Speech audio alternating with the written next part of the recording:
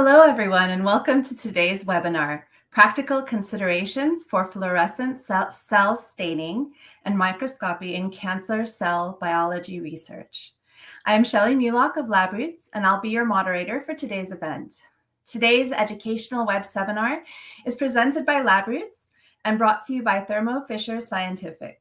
To learn more, visit thermofisher.com. We encourage you to participate today by submitting any questions you may have during the presentation. To do so, simply type them into the Ask a Question box and click Send. We'll answer as many questions as we have time for at the end of the presentation.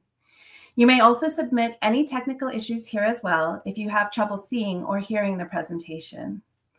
I'd like to now welcome our speaker, Dr. Daniel Beecham, Daniel Beecham is a senior staff scientist in the biology discovery biology group at the Molecular Probes campus of Thermo Fisher Scientific in Eugene, Oregon. For a complete biography of today's speaker, click their name in the presenter's window at the top right of your screen. Dr. Beecham, you may now begin your presentation. Thanks, Shelley, and thanks everyone for tuning in. Uh, good morning, good afternoon uh, around the world, and I'm really thrilled to uh, to join you from uh, let's see here, the late in the evening over here on the West Coast in uh, in Northwest America, uh, Eugene, Oregon, at the Legacy Molecular Probes campus of Thermo Fisher Scientific.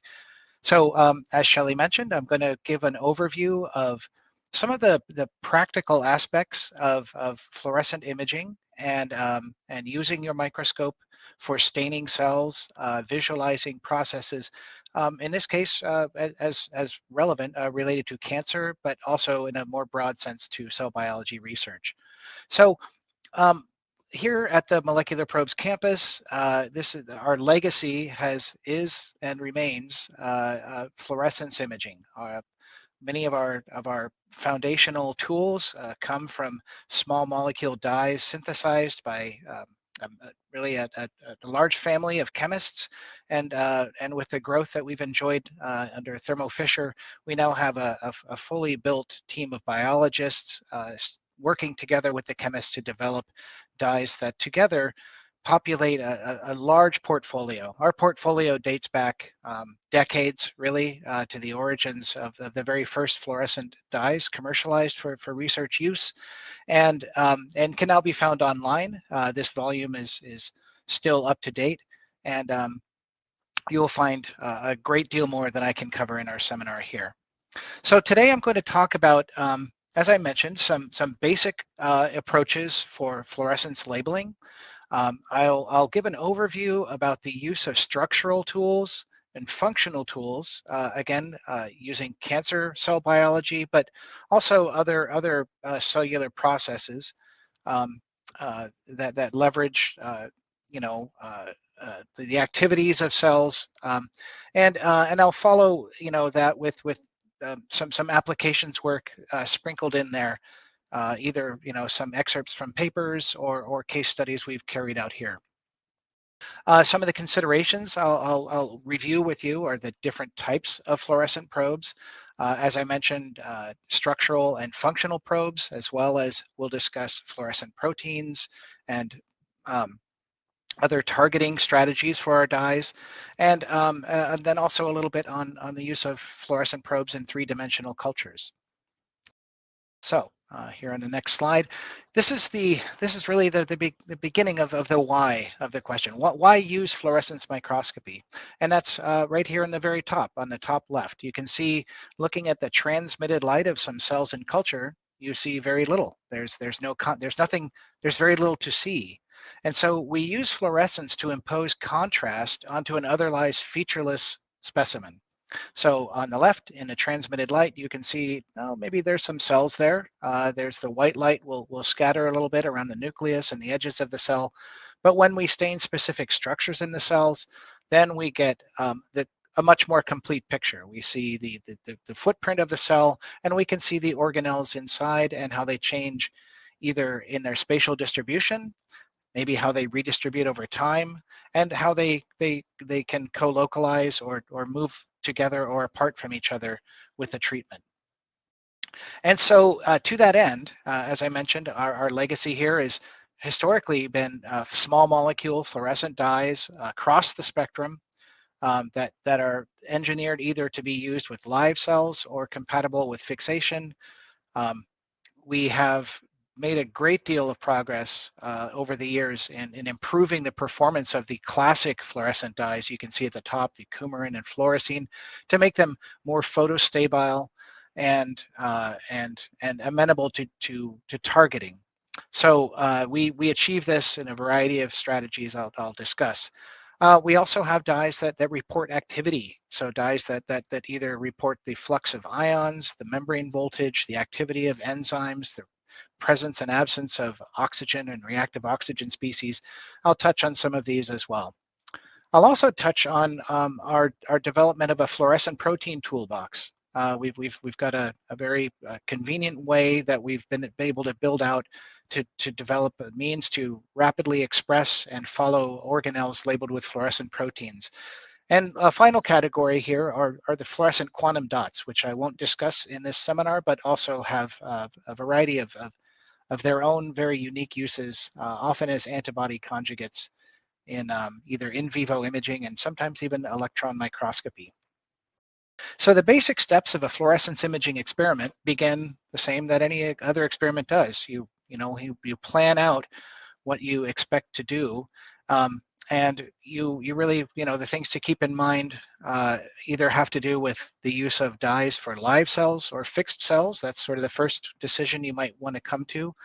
And then um, as with any experiment the, the quality of the data is is going to be very dependent on the quality of the sample. So of course you know these want you you generally want to use cells that are as close to their native state or close to the state that you want them when you prepare for imaging.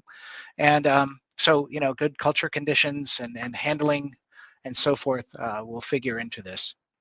Now this is this is the the, the the steps three and four are really the most important for for you know purpose of our talk today. So i'll discuss uh, quite a bit about the ways you can label cells. And so labeling is a very general term but um, in, in, in uh, overall, you know, there there there are steps that you'd want to take to either titrate the the concentration of the of the dye, the time that it incubates with the cells, and and this is also where you have a careful selection of of the dyes that you put on the cell. Um, as I mentioned, you want to optimize the label. Um, we all everything that that that we have produced here and and uh, and developed comes with a, a great deal of development effort uh, upstream where we've done a lot of optimization for you, but uh, we always recommend ranges of, of concentration to, to test uh, because that can change depending on what the cells are, what the microscope that you're using is, or what the time um, time that you're measuring. And then, of course, the imaging step. Um, this is also something supported in, a, you know, in, in, an entirely other seminar uh, perhaps where we discuss our, our, imaging hardware. And I'll discuss a couple of different modalities of, of imaging hardware that, that we uh, have here at Thermo Fisher, but you know, these, these, these rules apply to all fluorescence imaging experiments. So um, in, in planning a fluorescence imaging experiment, uh, you know, again, I, as I mentioned, the advantages and the reasons you use fluorescence imaging are to impose contrast. Um, and you're also eh, permitted uh, for, for many of our dyes to visualize processes as they happen, dynamic processes in changing in time, either by visualizing the, the, the, the movement of, of molecules uh, interest inside the cell, maybe structures uh, reorganizing, and uh, in some cases, uh, we have dyes that, that allow you to label an entire cell and watch it moving inside of a population or observe interactions between the cells. Uh, other advantages are, are, of course, just the, the ability to measure cellular structures in vivo uh, in living cells or to fix them in time and analyze them more closely with, with um, multiplexed dyes uh, to, to uh, interrogate a variety of activities. Some of the important considerations uh, in using dyes to label your cells are um, the, the ability to specifically label. Uh, so hopefully we've taken care of that uh, a fair amount for you, but some cells are very sensitive, so you may need to titrate and find an optimum concentration that, that will prevent cytotoxicity. You have to think of how um, how the sample moves. Living cells uh, are constantly moving, uh, minute to minute even, and even second to second for looking at some of the organelles. And this is uh, an important consideration for capturing either time lapse or expecting the sample to look the same at time zero or time five or 10 or 30 minutes. Um, the organelles will often reorganize uh, just on their own. There's another important consideration. Um, people often overlook this, that autofocus and light itself, in the end, in the absence of dye, uh, is, is toxic to cells, especially short wavelength light. High energy light in the UV and, and blue part of the spectrum carries a lot of energy and, and can in fact um, pose uh, challenges to cells and induce some of the processes I'll describe later on, apoptosis and, and reactive oxygen species. And, and to that end, we try to design our dyes having longer wavelengths to avoid uh, that, that illumination in those high energy and harmful wavelengths. And so you want to be mindful of how much light you're actually exposing to the cells, because even without the dye, um, illuminating your cells with plane polarized um, high energy light can be toxic in itself. And last is, is just the need, uh, particularly for live cells, uh, for, for keeping them in as, as happy a physiological state as possible. So um, I'm going to now kind of switch gears to the description of dyes and genetically encoded structures, uh, genetically encoded tools that we've we've built to, to look at uh, cellular structures in uh, in situ. And this is uh, this is important for cancer research for a variety of reasons, uh, mostly to understand how cells are behaving at a baseline state, and then how they change with either the induction of a of a of a gene or the addition of a of a of a drug. And so, uh, and, and as of course, many cancer drugs are are target the cytoskeleton. So uh, I'll be I'll be describing some of these in detail. And uh, these these of course can be addressed in uh, as I as I've shown here with with uh, our, our fluorescent dyes that that are either conjugated to a toxin or in fact engineered to uh, to bind to specific structures. Uh, I describe, I'll, I'll, go on a bit more about genetically encoded sensors that, that are targeted in the cell by a gene delivery uh, method that we uh, are very happy with here. It's a, a bit of a, a novel expression method, but uh, this is also permits live, live cell and fixable staining. And then uh, a third category over here is, is just the simple staining of, of, of the sample with antibodies uh, that, that are targeted to structures and molecules in the cell. That is, and this, this is entirely relegated to fixed cell samples that are fixed with formaldehyde and often permeabilized with, with uh, detergents and then probed with a cocktail of antibodies and fluorophores. So um, as I mentioned, the fluorescent, you know, probes themselves are, are just the small molecule versions are, are very easy to use. Uh, they're, they're usually uh, a single vial that you just dilute onto the sample. Uh, you have the advantage of uniform labeling, and they can in fact become they can become reporters themselves uh, of, of activity, uh, for instance, as the cytoskeleton rearranges. You want to be mindful of the amount that, that you use. So again, a titration step at the beginning. And you need to be mindful of uh, off, off target staining. So too much, you know, more signal also means more noise. So you need to be mindful of the background and off target staining that can happen at high concentrations. And you need to be careful about uh, putting too many dyes together uh, or else they will begin to bleed through to each other's channels. And uh, last note here is, is also a little bit more cancer relevant, and that's the, uh, I'll show one clear example of where a dye um, actually affects the cell cycle uh, and or, or promotes cytotoxicity and low concentrations are needed to produce the, the, the effect. And so as I mentioned, uh, these structural and functional considerations of cells are important in cancer, uh, largely uh, just simply to understand either cell cycle control. I've got specific examples here. We've got some descriptions of post-transcriptional regulation tools, as well as um, sort of more more signaling and metabolic uh, stress responses from from from stimuli, and as I'll go on here uh, for the study of, of structure.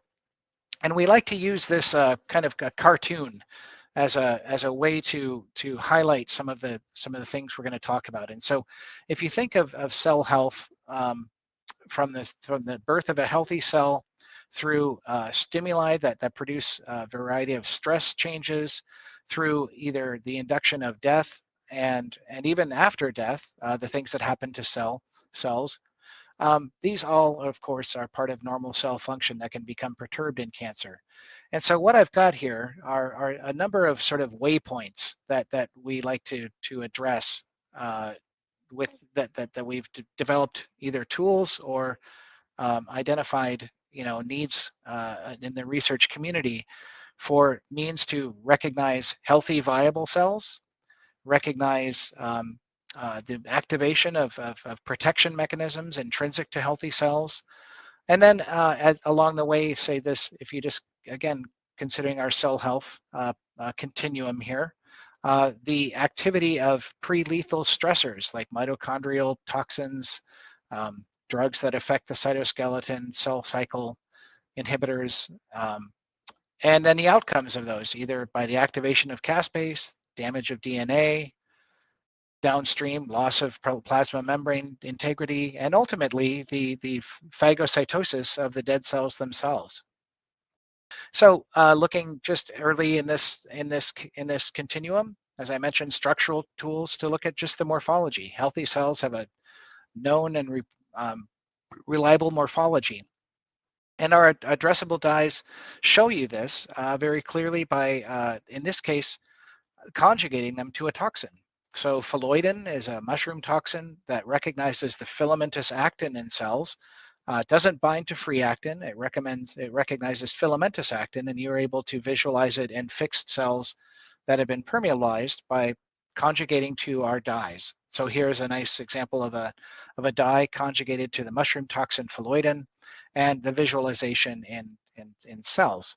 Um, another class of dye that I mentioned are dyes that are engineered to recognize a specific binding site in the cell. For instance, DAPI, which recognizes and binds to the minor groove in, uh, in double-stranded DNA. And that allows you to visualize the nucleus, which becomes a very critical uh, point for orienting yourself in the cell in many, many cases.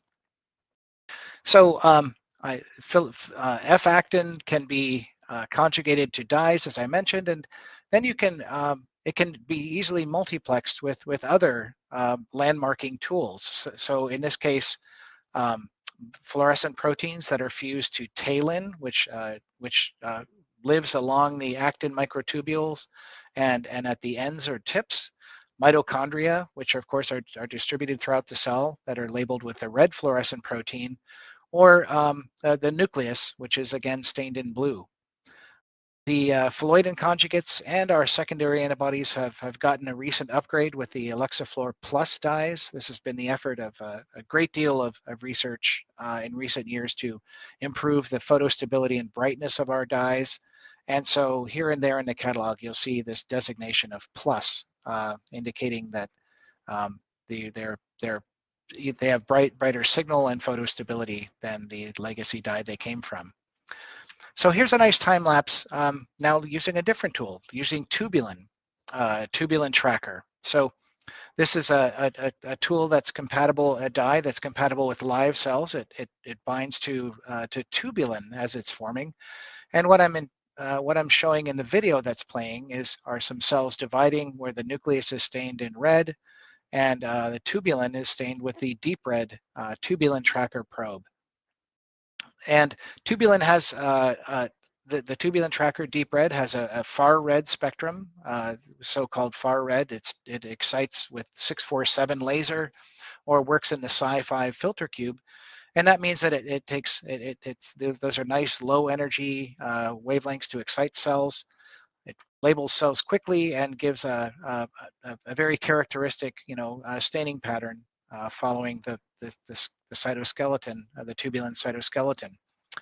And so um, in development of it, one of the things we wanted to make sure is that it, it didn't alter the normal function of cells. So on the left, um, we, we've actually labeled neurons in a neuronal culture uh, uh, and visualized them over several days. Uh, so this time lapse is, is in a confocal microscope, looking at a, at a slice of, of the cells where the dye stays on for, I think this is, if I can see the bottom there, it's, it's many, several, uh, sorry, looks like 65 or 70 hours.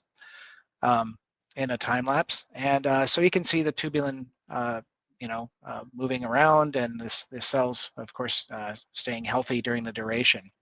On the right is an example of uh, over labeling cells. So for instance, if you, if you think you want to have a brighter label and use more dye, what you see on the left, uh, or sorry, the middle panel are, are some HeLa cells labeled with the tubulin tracker that are over labeled and they don't divide. They actually, they, they, they freeze in the middle of, of mitosis and uh, the signal just kind of goes away.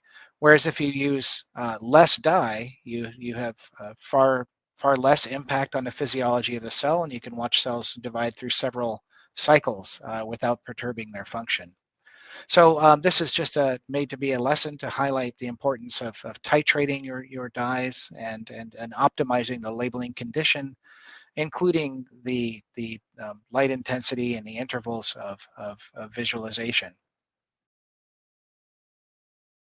I'll switch now to, uh, to targeted fluorescent protein fusions. Um, this is another form of fluorescence, of course. Then we brought these these uh, these these tools on board oh almost 10 years ago now, uh, just by reviewing the literature of Gem Jennifer Lippincott Schwartz and using uh, the the targeting sequences uh, that that that that that send proteins to specific parts of the cell. So, for instance, the actin cytoskeleton free fluorescent proteins in the cytoplasm, the endoplasmic reticulum, and so on. This list uh, to the right uh, in GFP and RFP represents uh, a good number, I think most of the fluorescent proteins that we've packaged. And the way we've packaged them is in a, is in a, a, a very unique system that is very cell-friendly. This we call they call this expression system the BacMam system. And so what it allows us to do is to package fluorescent protein uh, sequence into a non-replicating baculovirus, modified baculovirus that has been engineered to work in uh, mammalian cells. And the way it works is this. Uh, the baculovirus can, of course, is, is replicated in insect cells with the polyhedrin promoters, and, um, and that's fine for making baculovirus, but in our case, uh, we have pseudotyped the baculovirus with the VSVG pseudo, uh, pseudotype, uh, coat protein and where it allows it to bind and enter mammalian cells where the enhanced, um, where, where the uh, CMV promoter driving the gene of your interest is recognized in the mammalian cell. So the mammalian cell ignores the polyhedrin promoters of the virus and only expresses the gene product of your of your gene of interest, which has also got an, a WP-RE enhancement, RNA export and stability element. And this provides rapid and efficient expression of the of the protein of your choice in a in a very portable way. So uh, we've made we've made these for you, and you just simply buy um, uh, and use these these products straight off of the shelf without having to grow the viruses. They're also uh, only a P2 uh, containment, so they can be used on the benchtop and uh, handled regularly like like any other product or any other reagent. So here are two anti-cancer drugs, latrunculin and cytochalasin, used to perturb either the, the tubule, the microtubulin, uh, sorry, microtubule or actin cytoskeleton. Uh, so, you know, we've, we've got the fusion of the, the, of the tubulin uh, in GFP and the actin labeled in RFP with uh, reference dye in the nucleus to report where the, where the, uh, the DNA is. Um, with our with a with a, a, Hoechst or DAPI type dye. And so again, these are live cell um, uh, time-lapse videos just showing that, that as latrunculin breaks down the, the tubulin cytoskeleton and cytochalasin breaks the actin cytoskeleton down. These, these, um, these are two examples of, of, of, using the structure of, of the cells, these structural cytoskeleton elements to visualize uh, the activity of a drug and I'm sorry, that's a. These are BSL1 products, not BSL2. That's that's my mistake. Um, the other and last note on on the back BacMam reagents is that they're uh, very, as I mentioned, they're they're widely uh, they'll have tropism across a wide variety of cell types, including many primary cells. Uh, so I won't review them all here, but uh, they're very um, well tolerated in a, in a many cell types. Um, here's a series of structural dyes uh, that we've put together in a cocktail uh, following the literature of Anne Carpenter at the Broad Institute. So um, this is a, a, procedure called cell painting, and it, it make, makes use of, of specific dyes targeted to the cell nucleus, uh, that dyes that target RNA inside the nucleus and cytoplasm, dyes that target the endoplasmic reticulum, the plasma membrane and Golgi, the cytoskeleton and mitochondria.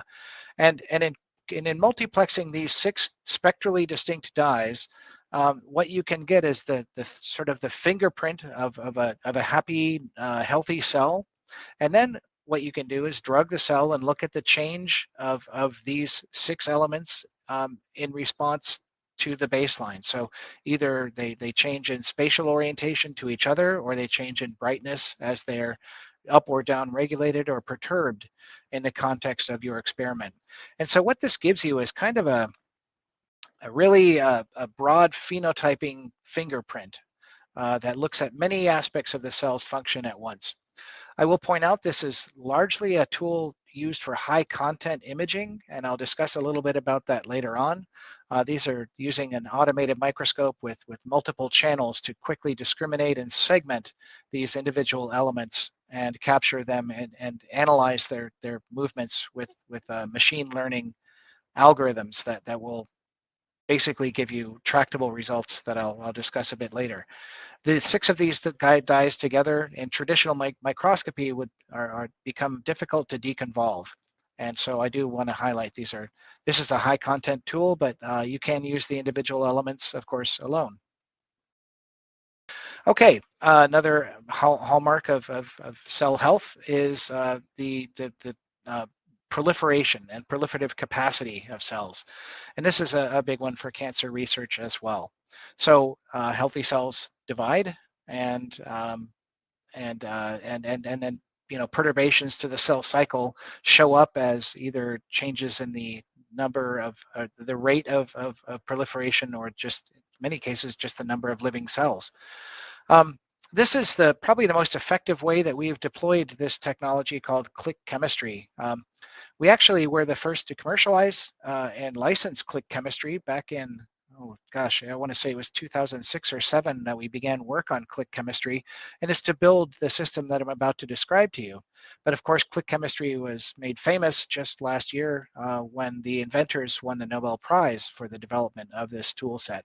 And the reason we like click chemistry is that it is entirely bioorthogonal.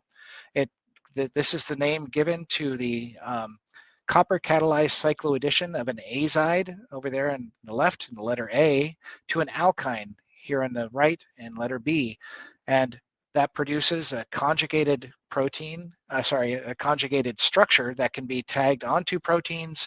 And it's a, it's a way to, to quickly mix and match uh, targets with labels is the way that we've used it, but it also is used uh, to, to generate you know, specific binding sites on antibodies for drugs and antibody drug conjugates and uh, many, many uses. It's very small, so much smaller than the streptavidin and, and, and antibodies or even uh, fluorescent proteins. And um, we have uh, um, excellent control of the specificity uh, with click chemistry and very low backgrounds, owing to the fact that there are no um, endogenous azides or alkynes in the sample. So to visualize proliferation with click chemistry, uh, you use a metabolic incorporation strategy. Historically, this was done with brominated deoxyuridine, which is incorporated into dividing cells at the, at the regular intervals wherever thymidine would go. You, a brominated de deoxyuridine is introduced, and the, then the cells can be fixed and permeabilized and some some treatments they ha have to do an actually an acid treatment and and a fair amount of permeabilization to make the brominated deoxyuridine accessible to a, a fluorescent labeled antibody. So a specific antibody for BRDU will then show you cells with newly synthesized DNA. We sidestep a lot of the, um, de the detection step with that by using a much smaller handle, the, the ethynyl deoxyuridine over here on the right. So this is our strategy with using click chemistry to detect newly synthesized DNA. So EDU is incorporated in, into newly synthesized DNA, and then it's detected in a single step with the azide complement uh, of the dye. And so what that looks like is, and so, and of course, the reason that that, that is helpful is, is that you, by using just a single step, you have a much, uh, you have much cleaner tissue architecture. You have pres preservation of, of, the cellular structures that you can see here. Um, with with the uh, tubulin uh, stained in blue and mitochondria um, uh, stained here stained here in, uh, in, in green, but the the, the newly divided cells uh, show these red nuclei where the where the clickable ethynyl deoxyuridine uh, has has has appeared. And in fact, people feed ethynyl deoxyuridine to animals and then can follow up and, and visualize in situ in tissue slices to see where newly born cells are, uh, either uh, with, with high frequency of occurrence like the gut or where they in places where cells divide more rarely like the brain. And uh, of course, you know, as you can imagine, proliferation is, is used to interrogate the activity of drugs. Uh, so for instance, in this one, etoposide, uh, a, a well-known uh, uh, toxin used in, in cancer research, uh, here showing a dose-dependent, you know, effect um, on cells over in a 24-hour treatment with a high concentration to the left, and a number of, of freshly divided cells tapering off uh, over at the far end and high concentration of the drug, and increasing in number uh, to the right at low concentration. In coupling this with the high content instrumentation, uh, in this case the CX7 laser platform, the um, uh, you can then uh, estimate the, the percent the percent of the cells that have recently divided and look at the titration of of, of that cell number in a in a in a quantified uh, uh recording uh, with with with the cell count on the y-axis and and quickly determine the activity of, of, of a drug and and how it in, in its activity on proliferation. Um, I'll leave off one more uh, discussion of click chemistry looking at, at RNA. Uh, that's another, of course, aspect of, of healthy cell division. And so the same approach that we've used for, to visualize nascent DNA, nascent newly synthesized DNA can also be used to visualize RNA. And this is just in, instead of uh, uh, instead of um, deoxyuridine, we have um, uridine. So uh, this is incorporated into newly synthesized RNA and detected in a single step with click chemistry. As you can imagine, click is very versatile and um, the, click in itself would be uh, uh, many different seminars that I could cover on DNA, RNA, protein, and post-translational modifications, uh, but here I've just touched on uh, proliferation. Um, also, in the spirit of, of visualizing RNA, uh, we, we have a, a, very highly evolved um, um, immunocyto, immunochemistry uh, uh, application with our ViewRNA toolset.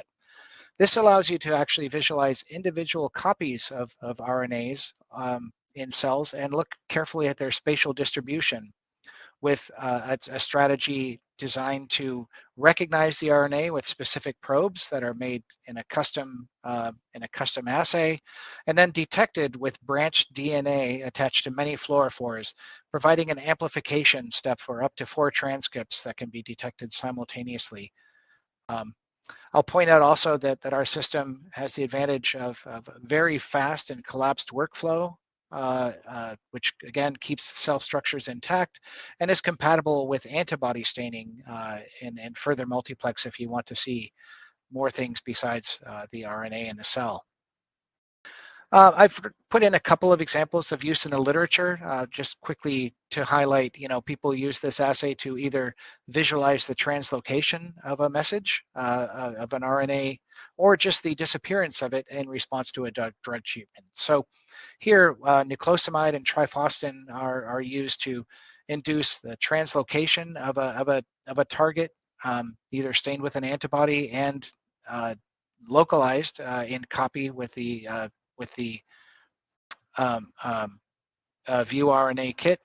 Uh, the, the bars in red show a control treatment. These are essentially fixed cells uh, showing that the, of course, the RNA is not incorporated and, and no change is detected. Um, but we can see a knockdown or, or translocation of the signal uh, with the treatments of the drugs. Um, Okay, I'm going to switch to some fun stuff. This is much more my wheelhouse and a place where I have spent a good deal of my personal time. I'm uh, still very much a, a bench scientist here uh, at the campus, and I, I work on uh, functional probes. I, I um, as with my training in neurosciences, has a lot of focus on ion sensors and voltage, uh, but we also develop probes to visualize other uh, activities in cells, and it's in this case the next several are looking at uh, the reactive oxygen species produced by healthy cells. Um, healthy and, and and that's that's that's so both healthy cells and stress cells produce reactive oxygen species. And what can sometimes happen is the cell loses its ability to buffer reactive oxygen species, or a drug will induce the overproduction of reactive oxygen species. But um, in in this in both cases, these are both good um, mechanisms. These are both these these represent a tool a class of tools that can be very helpful in identifying mechanism of action in a in a in a either a, a toxin treatment or or or trying to understand how a gene has altered the, the metabolism of a cell um, particularly with a mitochondrial phenotype. People have used um, our, our classic dyes to study reactive oxygen species for many years um, the reduced fluorescein dyes uh, suffer from uh, the inability to use them in complete media and they photo bleach very quickly. Uh, these CellROX deep red dyes are, uh, and, and now uh, newer green and orange forms recognize reactive oxygen species and can be uh, fixed and are very photostable, um, re reporting activity to a wide variety of, of ROS species that can be found in a table that I won't describe here. Uh, the nice thing about them though is, uh, yeah, they, they work on both live and fixed cells, so you can actually visualize the, the activity of the dye, in this case, uh, in multiplex with a mitochondrial membrane in, uh, indicator. So TMRM is a mitochondrial dye that, that stains healthy mitochondria. Um, it shows up bright red at the beginning of the recording. And then uh, the reactive oxygen dye uh, is in fact a, a nuclear binding dye that, that binds to DNA upon oxidation. So uh, the dye is dark until it is oxidized, and then it's permitted to move to the nucleus and bind DNA and produce a very, um, a very localized and bright signal in response to reactive oxygen species. So you see the, the mitochondria are becoming dimmer with the imidazole treatment, and the ROS signal is coming up in, uh, in time. Um, next couple of slides are on another very important pathway in cell biology uh, and, and, particularly cancer research, and that's the activation of caspase enzymes to induce DNA, uh, sorry, to induce cell death. So programmed cell death is, is a well-known uh, phenomenon, and the main executioner of programmed cell death is caspase 3-7.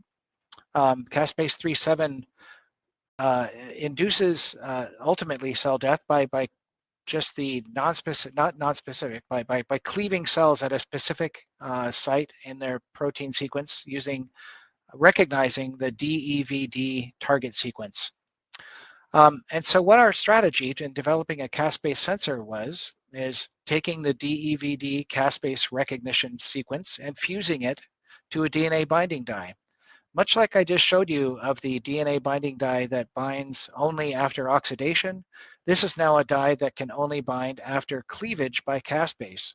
So at rest, the, the dye is dark and cannot see anything, but when you induce caspase, in this case with uh, the activation by uh, staurosporine or another um, uh, toxin drug, the dye is cleaved away from the DEVD, can translocate to the nucleus and produce a fluorogenic signal. The nice thing about here is that um, these are there's actually a lot of advantages. It, you don't have to wash the cells or remove the dye or the media for it to work. Um, the sample can be fixed and, and counted afterward, uh, permeabilized and stained with other things. And you get a lot of amplification of the signal. So every caspase enzyme stays active and it keeps cleaving dye uh, as long as it's around. So um, back to the, I'll, I'll just show this video one more time. This shows, uh, again, that a, a, multiplex experiment where we're watching the mitochondrial membrane potential in red uh, disappearing uh, upstream of the activation of caspase, as you would expect in temporal sequence. We've recently developed a GFP form of this dye, so it's also a caspase 3.7 sensor that is now operating in the red, uh, far red channel. And this can be easily multiplexed now with the green fluorescent protein or deep red dyes for cell death um, or the, the, the, nucleus in blue. So further just in increasing the multiplex capabilities of, of, the, of the system. see if I can go to the next slide. Oh, and this just shows another video of this uh, of the caspase red in action. So now we've we've got a different live cell stain, the calcein green. Uh, so healthy living cells uh, will will stain brightly with calcein AM ester, which accumulates inside and is maintained there. Uh, and then upon treatment, you see the disappearance of the green signal and the appearance of the red apoptotic nuclei uh, from the from the caspase red version of the uh, the 3.7 caspase 3.7 sensor.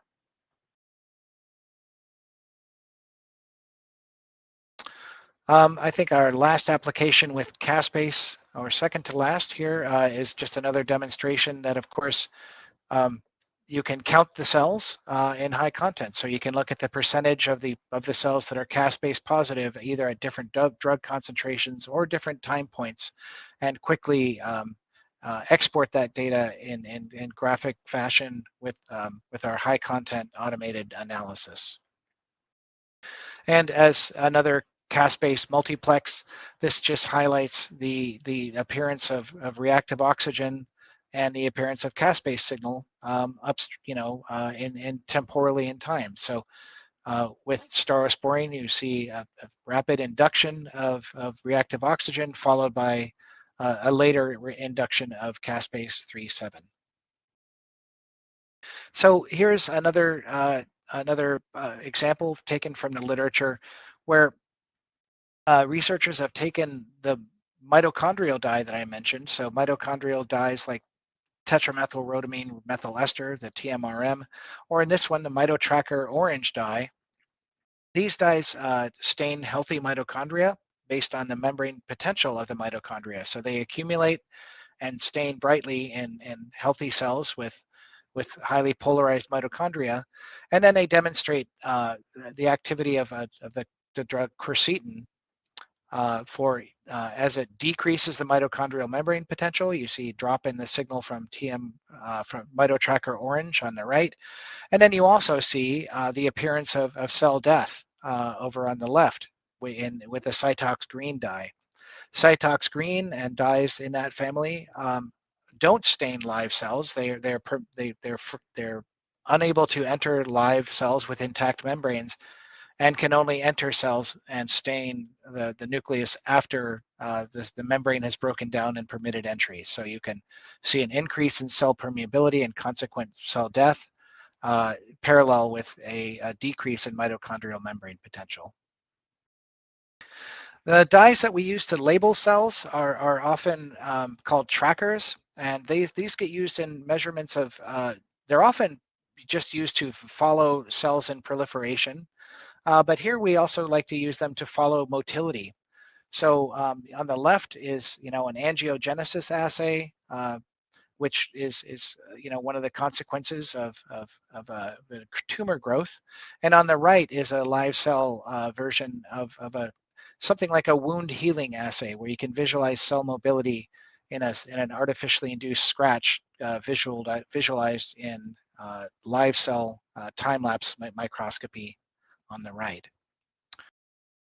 And um, so th this uh, cell tracker deep red dye is going to appear several more times. Uh, it, it, either can be used to label cells that are used to induce activity. Uh, in this case, we have a, a cancer spheroids that are uh, over here on the left stained uh, with the caspase dye uh, showing the basal level of, of, of, of, of apoptosis.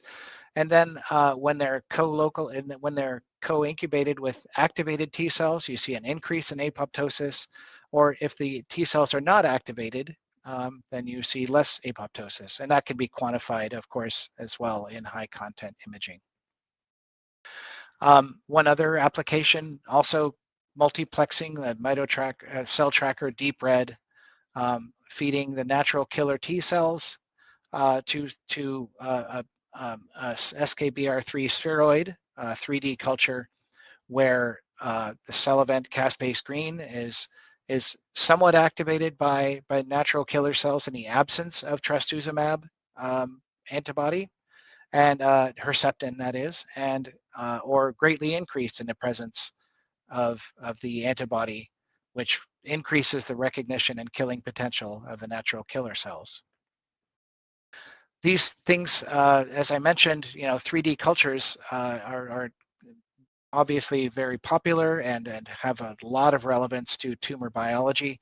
And so you can uh, take take uh, individual ass assays like the ones I described, the, the induction of caspase uh, green and the decrease in signal from MitoTracker orange and visualize dose response to a drug as, as higher concentrations of niclosamide, you see a loss in mitochondrial signal and a gain in the, in the caspase signal in two different cell types. Um, I'll, I'll spend a bit of time here now uh, on the visualization of, of internalizing processes, um, uh, either phagocytosis or, or trafficking of, of membrane targets, which are both um, relevant in, in cancer therapies. Um, so just this is just meant to describe the strategy. These are dyes that are pH sensitive, that are dark at neutral pH and become brighter as they are acidified. So when the dyes are conjugated in this case to bacteria or other cells, then they can be fed to macrophages and you, you see the, the signal appear over time as they bind to the outside and are transported in. You can also conjugate pHrodo pH sensitive dyes to, to uh, targets outside of cells like in this case, the low density lipoprotein or to antibodies. So our, our, antibodies, of course, are, are as known are known as much as being therapeutics as they are for our own body's uh, help, helpful function. And so labeling antibodies and making them pH sensitive gives people the means to visualize where the antibody is going in the cell. Uh, so in this case, you can visualize the location of a labeled antibody in the lysosome, where it is co-localized with the cell light GFP lysosomal fluorescent protein, uh, LAMP, and and then uh, multiplexed with uh, the nucleus for for landmarking and and once again our friend the cell mask deep red uh, very versatile dye to show you the plasma membrane. A new version of of our ph dye that we're very pleased to uh, announce is a longer wavelength this this is a new dye that works out in the deep red channel and has uh, and one other important change is we've modified the pH that activates the dye, pH 5. And this means that the dye turns on later in the endosomal pathway. And it also means the dye is darker at neutral pH. So we have a much larger signal to noise in, uh, again, measurements of phagocytosis on the left, as I've shown you, or, uh, you know, uh, antibody-directed cellular phagocytosis of, of labeled cells on the right. Um, but in, the biggest, uh, I, th I think the biggest impact is uh, the, the ability to efficiently label uh, antibodies, uh, in this case, uh, again, uh, trastuzumab, Herceptin drugs, that, are, that have the mechanism of binding to EGF receptors on the outside of cells and are, are quickly translocated inside to the late endosomes and lysosomes where the dye fluoresces brightly. So you can see the signal to noise of neutral of, of, of labeled antibodies at neutral pH of 7.5 to an acidic pH and see a very large signal increase owing to a much smaller background signal um, at neutral pH on the lower right. So um, we now have you know what we call classic and these new uh, deep red uh, uh, uh antibody labeling kits that are are you know, uh, suited to the, the either the color channel or the pH range of, of, of the user's interest. But uh, these all leverage pH gradients to visualize activity in cells.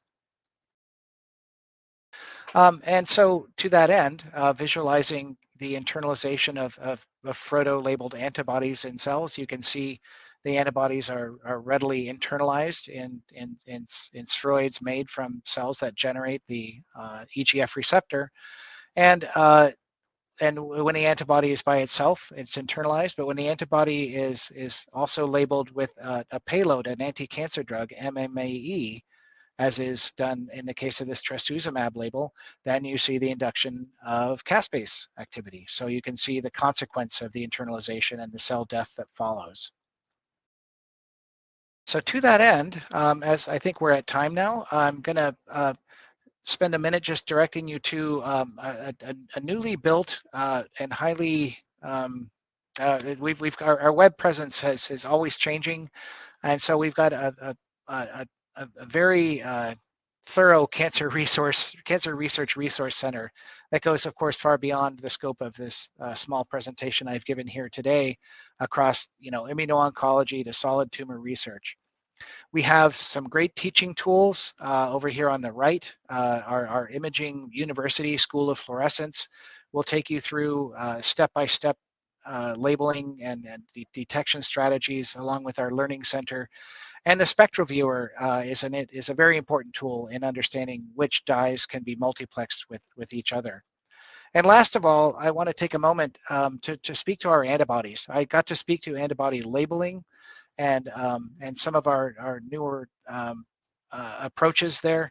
Uh, but our, our antibody catalog is, is now been completely reinvented with um, a lot of our own applications data as well as validations from the literature. So the, the search for validated antibodies is much easier uh, with a, a, a, tool that we generated. So I will pause there. I think I'm at time and I'll thank everyone for their attention this afternoon, uh, wherever you are. And um, I'm happy to take any questions.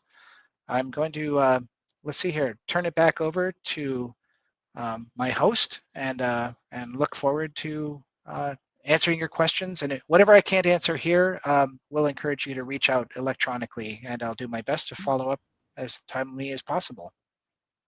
Yeah, thank you so much, Dan, for your informative presentation. We will now start the live Q&A portion of the webinar. If you have a question you'd like to ask, please do so now.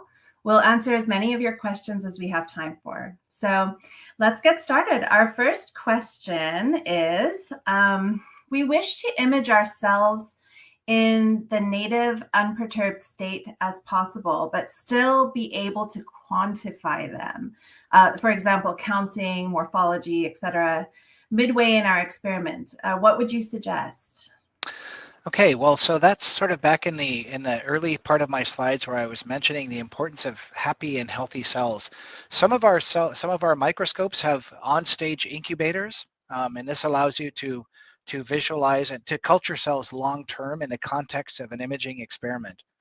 Um, the selection of dyes is the other uh, important piece, and so not all dyes will be compatible with with live cell imaging, and it's important to you know, read a little bit about the dyes before you uh, uh, just try to label them and, and expect the cells to behave normally. So um, I showed examples of dyes that, that are very, that are completely harmless to cell function, like the uh, cell tracker or the pH sensor dyes.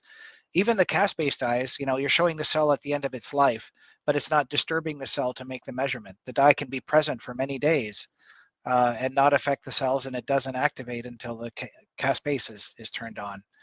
But um, really, the, the same rules that apply to cell culture, uh, maintaining the, the oxygen and the, uh, sorry, the carbon dioxide and, and the humidity and temperature um, are, are, all in effect here. And so um, either on-stage incubators or the you know sort of uh, careful culture of, of, of your cells and, and uh, measurement with the appropriate reagents is, is the key to success.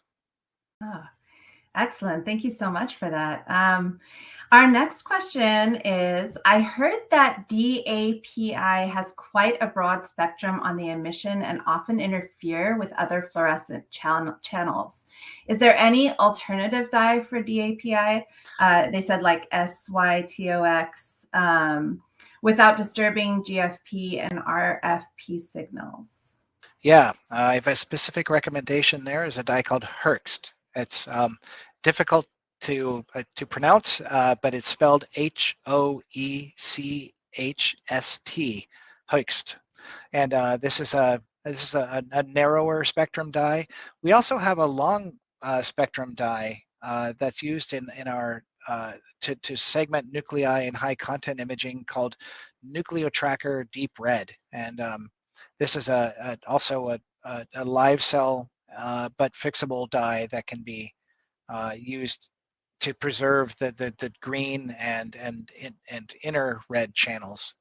Uh, okay. That is that's alternative to DAPI. Okay. There there are many nuclear dyes.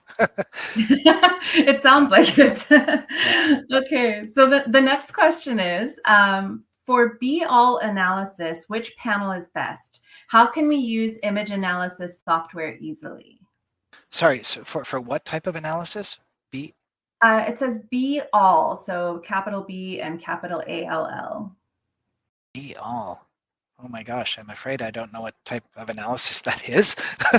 um, we do have automated um, analysis, you know, uh, packages that either go with our, our microscopy suite um, using, uh, so I showed examples of the EVOS microscope and it has an onboard analysis package called Celleste, C-E-L-L-E-S-T-E, and that's a very powerful um, sort of uh, smaller scale imaging analysis program that that will quickly automate and quantify imagery.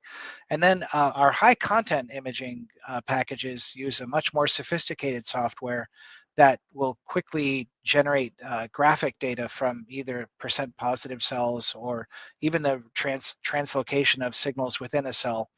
And that's that's um, maybe th that's that's that's probably the best approach to getting a multiplex um, read of up to seven different channels okay. using high content imaging. Perfect. But okay, if, if, if if someone follows up with the BLL, I'll do my best to understand. But I, I actually don't recognize BLL. Okay, no worries. I'll let you know if it comes through. And our next question is, what would be suit a suitable application for a whole cell label dye or labeling dye? Uh, why do I see cells bubbling during live cell imaging experiments? um, a suitable application for, for labeling cells, like, like for instance, um, I showed several examples with the um, cell tracker deep red, uh, is either visualizing their motility, so visualizing as they move around in a, in a population, even for tracking them as they divide. So you have one labeled cell and it divides, and then you have two labeled cells and three and four, and the signal goes down uh, with each division, but that can also be used to quantify how many cells in in a uh, in a in a population have recently divided. In fact, it's done in flow cytometry. But uh, mm-hmm. for for traditional imaging, people label the membrane of cells just to to give them contrast and see where they are among a population. So, for instance, the the the, the cell tracker deep red uh, cells that I, I was showing you in the organoids um, and and spheroids were uh, uh, labeled just to give the camera something to focus on. And then really the activity is happening in the green channel. Bubbling happens um, uh, often as a result of, of either cytotoxicity from overloading with dye or too much uh, phototoxicity. So light itself can, can be toxic to cells. And so you may need to adjust the, uh, the intensity and duration of the exposures of, of the of the light on the cells to avoid phototoxicity. Um, but there are a lot of things that can cause bubbling, and that could also indicate an osmotic problem with the with the solution that you're labeling with. Mm. Um, it, I'd have to see or understand a bit more. Yeah, thank you. Okay, great. Um, the next question is How long does transient expression with cell light reagents last um, or Premo sensors? That's a great question. Um, yeah, so I, I, described the BacMam uh, as protein expression system that we've used to, to package uh, fluorescent protein and, and biosensor tools. And um, it's a CMV driven promoter, and that means that you see pretty fast expression. And every time the cells divide, they take half of the copy number with them. So you can expect to see the onset of expression in uh, six or eight hours and peaking at about 15 to 16 hours. And then it will last for several days. It really depends on the target. Uh, so some some some proteins are turned over very quickly. The membrane labels are are you know um, they they they they're uh, they're they're always new membrane is being made, and so uh, you can either get long-lived expression by by just retransducing with with more of the with more of the viral uh, uh, delivery or or culturing it continuously in the presence of it. Um, but you can count on on on you know minimum of, of two days up to five or six. Okay, perfect. Um, our next question, uh, Dan, is I'm dealing with less abundant rare target and using an antibody validated for ICC, but still can't see my target. And they're wondering if you have any advice for them. Yeah, that so I didn't really get to spend much time on it, but uh, we have a couple of strategies for signal amplification. Um, so this is now used for for as you mentioned, rare or low copy number targets.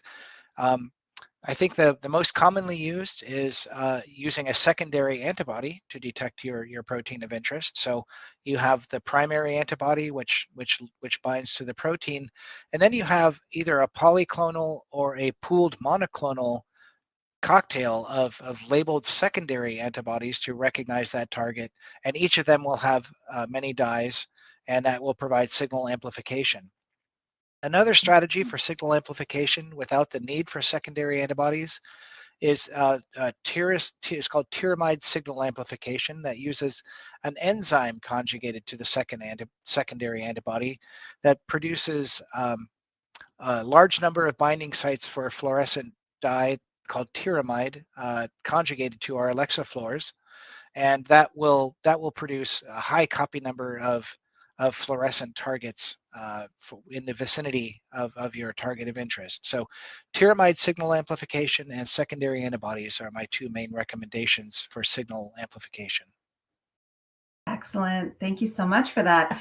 Okay, it looks like we have time for one more question. So, our last question for today is I've found protocols for probes in 2D, but not for 3D models. Uh, do you have any um, general advice for that?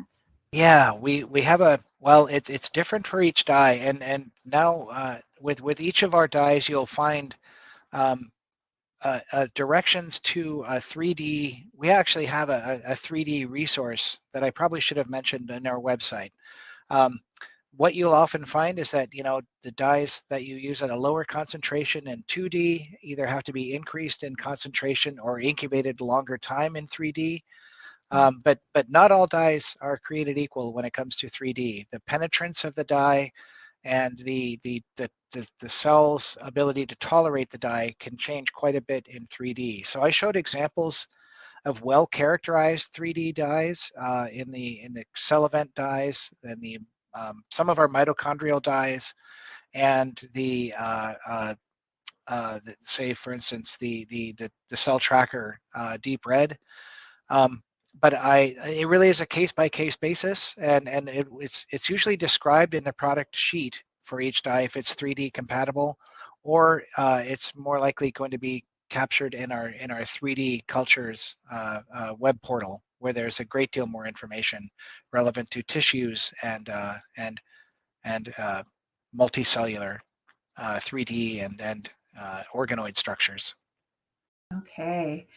Oh my goodness. Thank you so much, Dan. Uh, do you have any final comments for our audience today? Um, no, just th thanks so much for for spending your your afternoon with us here, and and um, we do welcome any any questions. We have an excellent you know technical support team, and whatever they can't uh, answer, they send to us in research and development. So I welcome the chance to to speak with people in the field as often as I can, so I can better understand uh, problems and develop in, in their direction. So um, sometimes we can help out from research and development as well. So we, we look forward to hearing from you and, and thank you again for your time. Absolutely. Awesome. Okay. Thank you again, Dr. Beacham, for your time today and for your important research. Uh, we'd also like to thank LabRoots and our sponsor, Thermo Fisher Scientific, for underwriting today's educational webcast. Uh, before we go, I'd like to thank the audience as well for joining us today and for their interesting questions.